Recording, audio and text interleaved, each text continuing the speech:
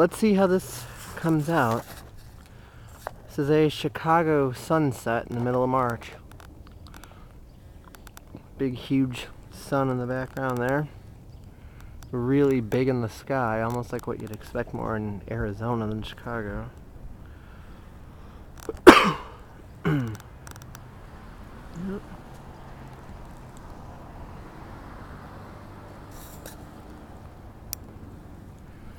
I don't know how good this is going to come out or not, but I guess we'll see.